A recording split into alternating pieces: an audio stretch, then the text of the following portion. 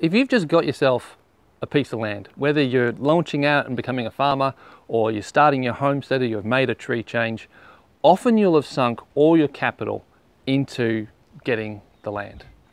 And odds are, sooner or later, you're going to want another shed. Well, this is a way you can scrounge materials that are just lying around for free and repurpose it into making st structural engineered beams for a basic shed. It won't save you time, but it will save you money.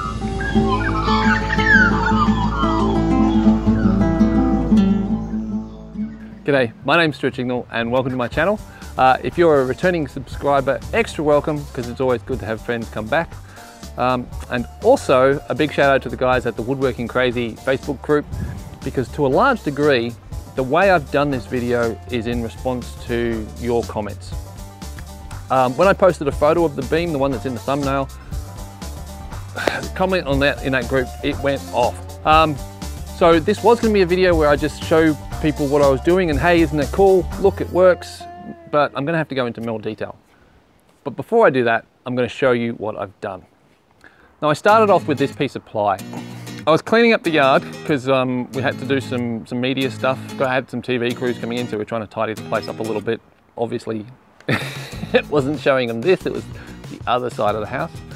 Um, and uh, yeah, I picked up this piece of plywood. It was pretty rubbishy. Um, had this big curve in it, a few nails. Uh, one side of the one side of the ply wasn't weathering too well. I was about to throw it out. I thought, actually, no, I can use that for the woodshed that I need to build. First step was I cut it into 200 mil wide strips. Um, no engineering involved in this, it was just, I thought, well, that's overkill. Once I had the strips of ply, I then needed some, uh, some longer bits of wood for the top and the bottom of the composite beam, which I pulled out of a skip. And when you're doing a lot of this stuff, it's about keeping an eye out for what's in your area. Um, here's another example of some material that would be really good for what we're doing here. Um, long, thin wooden packaging material. You know, but you could just get away with knocking down pallets. Um, it's just, it's what you can find. None of the long bits of wood I had were quite long enough, so I just grabbed what I had, put it down, and if it wasn't, it wasn't the right length, I just cut another bit until it was the right length, which was 3.8 meters. Put the first piece down, put a piece of ply on top of it, put the, another piece of wood on top of that, put the first nail into the chord. Some of the holes I was pre, I pre-drilled, others I didn't. Um, uh, a lot of the ones that I didn't pre-drill I wish I had because the nails didn't drive straight a lot of the time. Ah! Sort of went askew and you know you can see that later and some of them haven't gone in as well as it would have been good, as well as I would have liked. Um, and then I just proceeded along the length, adding on the next piece of the chord, adding on the next piece of ply, nailing it down. Once I'd nailed the, the a chord on one side, I then flipped it over and nailed nails in from the other side. So I've got nails doing this. The nails weren't quite long enough to punch all the way through and come out the other side, but they were pretty close. So when they're going in from either side, just creates a stronger joint rather than putting the nails in all from one side. Alrighty. Once I'd finished by attaching all the pieces of wood to each other, nailing from both sides, I then ran um, the beam over a stump and re-nailed all the pieces to get them to get the, the joins really nice and tight. Um, working on the ground like that, you could often be a little bit uneven and you, sometimes your nailing can be a bit loose. So passing it over something solid just tightens things up. Uh, and with these nails, because they've got the corkscrew in them, um, it, you know, they, they really hold, hold really well. Explaining what I've done, I haven't given you many details, I've just explained the process. And that's because this is not a how-to video. This is a what's possible video. The reason for that is it's not possible for me to really tell you how to do this because I don't know what you're going to do. I don't know what sort of span you you need to span. I don't know what sort of load you want to put on these, on what you're building. But most importantly, I don't know what materials you're going to scrounge. Some could be incredibly strong, some might be really weak. Like some pine packaging materials are very, very weak, especially if they've got lots of knots in them and so on. Um, some plywoods are very, very thin, some are very, very thick.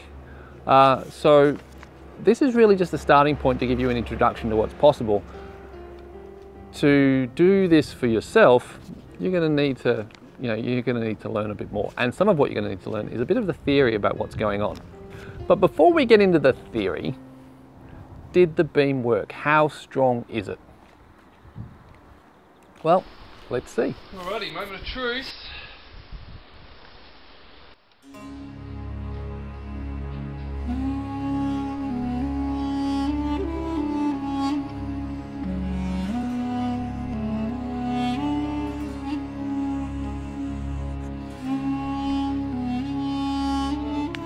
Now what I'm using for our gauge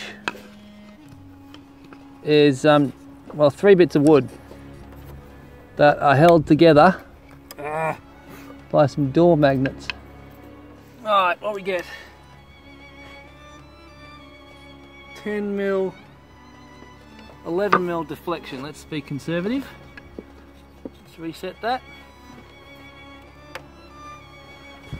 So the door magnets holding the piece of wood together will allow the center piece of wood to slide down when I'm on top of the beam. That says 11 mil again to me. So three times out of three, I reckon we'll call it. So the beam works. Now admittedly, I'm not particularly heavy. I might be tall, but I only weigh about 85 kilos. Uh, so me standing in the middle of the beam is not a huge load, but only 10, 11 mils of deflection on a 3.8 meter span. That's awesome. You know, that is, that is, that's great. And especially considering when I show you where I'm going to install it, the span's not actually that big. So yeah, that beam's going to do the job I needed to do hands down. Now, if there's any engineering engineers watching this and they see me do the deflection test and, and say, hey, look, it's, it's strong enough, immediately um, if they were concerned citizens, like the guys at the Woodworking Crazy Facebook group, they would immediately chime in and say, hey, you can't base, you can't tell if a beam's strong enough based on deflection.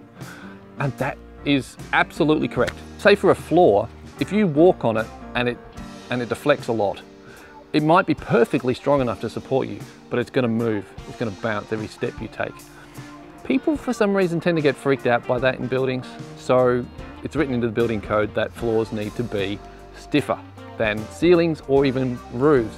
Even though it's the roof that could very well be the one, be the thing that's got the load on it. Uh, your roof is, might be designed, only designed for a 1 in 180 deflection, which allows quite a lot of deflection. Um, and it's going to get that load if you live in a snow area, whereas the floor is built to a much higher spec to stay stiff. Conversely, you might have a beam that is very, very stiff, very, very rigid, almost no deflection and it's not strong enough for the job that you ask of it.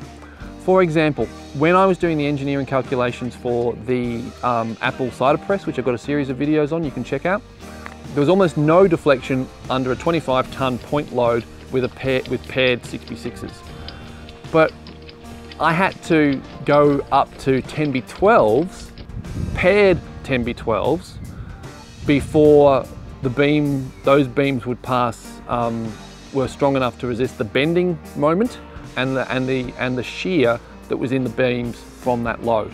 So why am I saying, yay, it's strong enough based on the deflection? Three reasons. One is I've done this a bunch of times. I've got some experience in knocking things together like this and them still being around 10 years later, 15 years later, longer, uh, longer.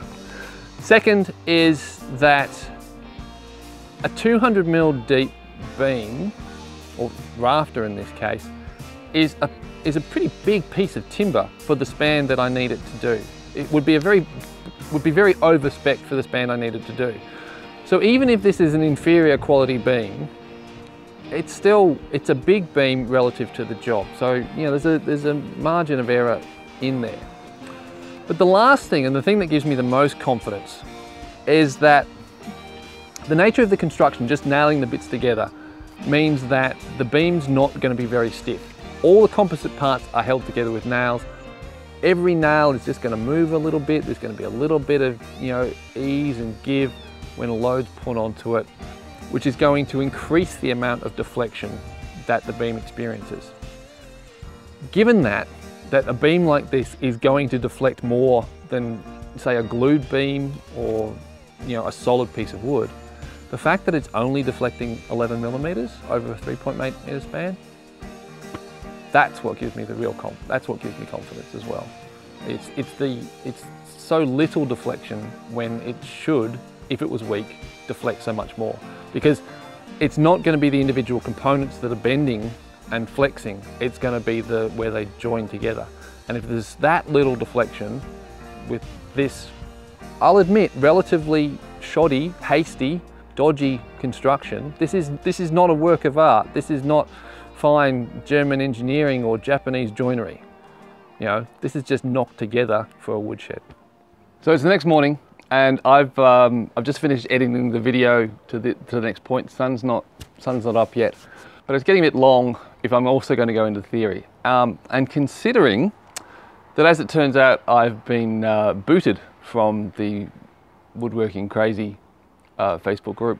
When you're improvising, rather than using a standard cookie cutter solution like from a span table or like following a building code, you need to know a little bit more about the theory if you're going to be doing things safely. That means that sometimes when you're doing stuff, it might, it's going to look unconventional to people, or even in this case, shoddy. So I get that, and okay, I've got, I, I would perfectly willing to take the patience to explain what I'm doing, cop some more flack, and just to, to go through it with people. But not if they're not willing to engage. So on that note, this will be, um, I'm going to be signing off. Um, in other things though, um, I'm running a competition at the moment where you can win a, um, controversially, uh, where you can win either a carpentry axe or a hewing axe. And if so, if you want to check that out, um, there'll, be a link in the description or on the screen somewhere. And if you want to see the beam actually installed and in use and what I'm doing with it, then make sure you subscribe and hit the bell notification icon so that you get notified when that when the videos come out. Um, and also to show you that composite beams like this, which you can knock together yourself, don't have to be but ugly. This is the beam that's going to be at the very front of the shed where everyone can see it. And as you can see, that's much prettier. American red oak with Australian spotted gum webbing. Um, yeah, uh, and I think that looks pretty cool and not at all dodgy. And before any, and before any engineer says, hey, but you've got a butt joint in the in the chord, that's the high moment area, which it is, a legitimate concern.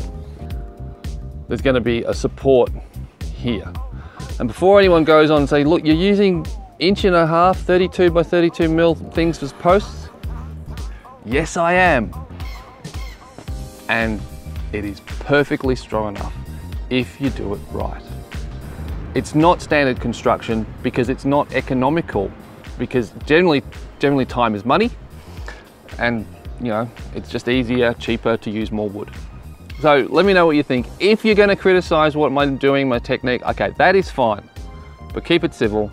I'm the first to admit that I don't know everything, but before you really go hammer and tongs, especially if you're gonna get getting into the theory, um, unless you're an engineer and actually knows what you're talking about, you make sure you know your facts because um, I'm better educated than the average bear. Um, and I can, I can discuss these issues intelligently with fully qualified engineers. They might, might not approve of my application, but they do understand that I understand what I'm doing. And I understand that because I'm self-taught, there are gaps in my knowledge. Um, you don't know what you don't know. And one of the ways that I've used to educate myself um, throughout my life is I'll read and study and learn and, and ask questions and then I'll just go for it. And then I'll show people what I've done. Sometimes everything works and hurrah, it's a success. Other times it doesn't. Other times more educated people, more knowledgeable people, more skillful people come along and say, hey, that was a bad idea. And then I'm the better educated for it. And next time, I'll, I'll do it better. So if you are an engineer and you've watched this all the way through to this point, um, speak up. You know, if you think I am doing something drastically, drastically wrong, say so, and we'll talk about it. And if you're making like a horse shelter or a goat shelter or a hay shed, you know, once you once you get a handle on what you're doing and you learn, and once you get a handle on what you're doing and and and how to how to do this stuff, you can do that too, and you don't have to go and buy a commercially made shed. Um, personally, though, I'd rather have the money to go and buy a commercially made shed, but I don't have the money, and there's lots of other people that don't too. So have fun. I'll see you online.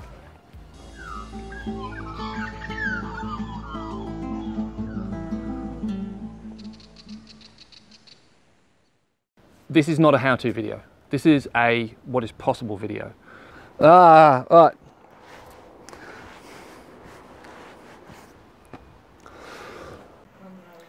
Oh, that's harsh. That's really harsh. What have they said now? Oh, they're not being nice to me. Are you, gonna, are you coping okay with that? Yeah, I'll be fine. I'm a big boy. Maybe you should go to the psychologist.